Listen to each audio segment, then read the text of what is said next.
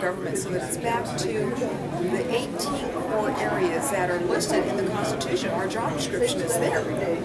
But yet, for years, people in Washington, D.C. have decided that they want to enlarge in their job description, which of course causes the federal government to be bloated and reach into areas where they don't belong. So that's one of the things that I, that I bring. I'm very solid in, in what I believe in and in my core values. I'm not going to waver. I'm not going to give in to special interest.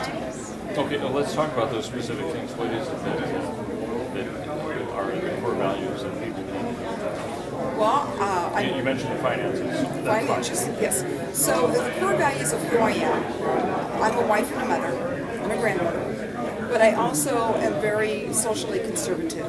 I believe that life begins at conception, and I and I'm 100% pro-life. And I think we need to be looking instead of talking to women about abortion, let's talk about adoption instead. If you're in that situation where you cannot care for a child because it's just whatever's going on in your life. There's other alternatives, and the number one uh, unalienable right listed in our Declaration of Independence is life. So let's discuss life.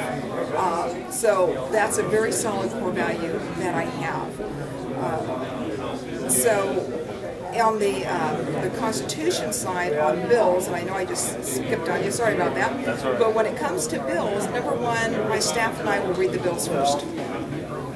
Well, that would be some, that would be something new because we're finding that some people aren't doing that. They aren't even looking at them. They're walking in on their way into the chambers and asking their staff, how am I voting?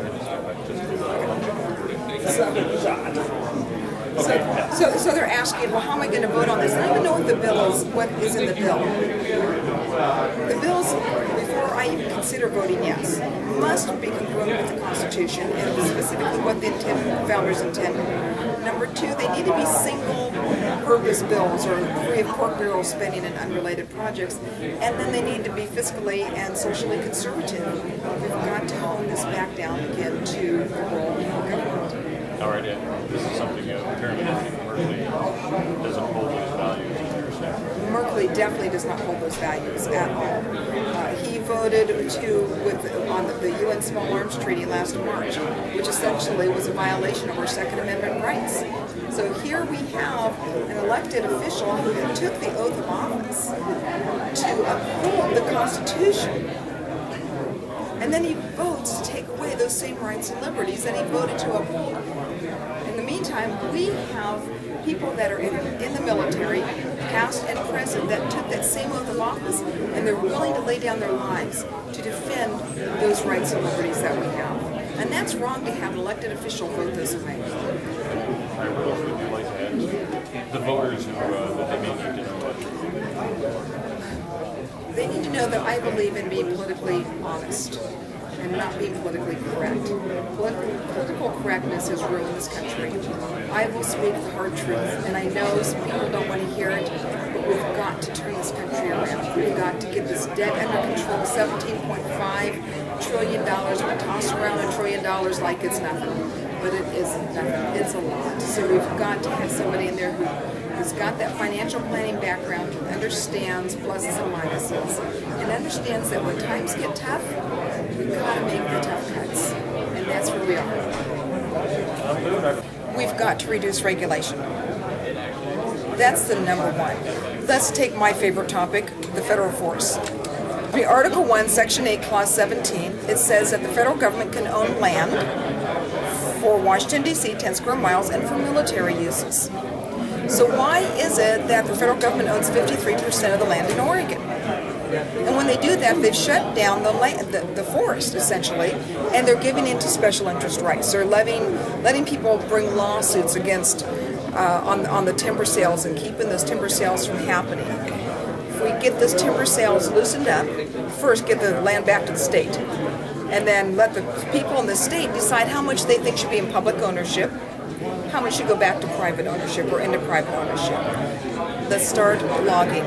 Let's start mining. Let's get the fisheries opened up. People in those professions know how to properly manage so that it is sustainable. That's going to create jobs. That's going to keep people from having to have government assistance. Right. Uh, moving the lands back to the states from the federal government, by what authority or authorities um, can you cite that would allow that to happen legally? Well, it's just right there in the Constitution. So I don't know that we need anything more legal than that. The Constitution is very clear what land the government can own. Okay. Uh, what about the Tenth Amendment and Common Core education issues? Uh, how do you feel about uh, Common Core? Common Core. Well, first, there's nothing in the Constitution that says that the role of the federal government is to be in education outside of providing money for the arts. So it's pretty clear. That is another states' rights and local issue. Common Core, the idea is that a third grader in the third week in March that lives in Medford, Oregon, can move to Little Rock, Arkansas, walk into his classroom the next day, and pick up without missing a beat.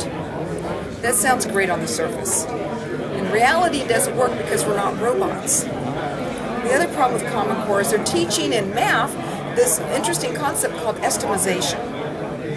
Uh, I was listening to a, a, teaching series on Common Core, and there was a, a young man, I believe he was in the third or fourth grade, who turned in his math homework. Six times seven is 42, and it was marked wrong. Really? What the teacher wanted was a bunch of circles drawn. Draw 41, draw 40, draw 43, estimation. Well, let's get out to the real world. Estimation. How is that going to work if this child wants to become a civil engineer? How would you like to have that bridge estimated?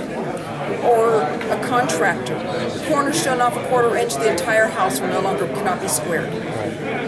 We've got to have math. So Common Core is just more dumbing down of America, and it is just more infiltration in the minds of our of our youth, and it's not good. Thank you very much.